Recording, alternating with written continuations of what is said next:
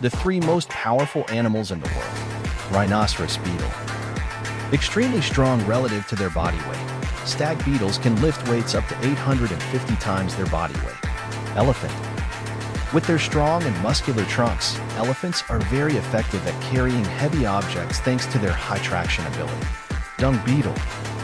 Musk oxen, which can pull about 1,141 times their body weight, are famous for the fecal balls they collect. Like and follow for more.